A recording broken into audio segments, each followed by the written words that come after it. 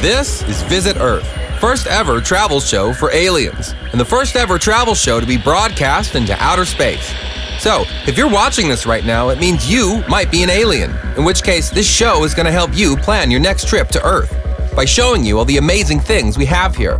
Like big rocks you can walk on, and small rocks you can relax on. You can also relax here. We call it party. You'll like to party. You'll also like food. Look, flying pineapple. We also have Look. art, cities, and uh, singing boatmen. So, alien viewer, if you like adventure, exotic locations, strange sounds, and strange flavors, then tune in to Visit Earth, the first ever travel show for aliens, just like you.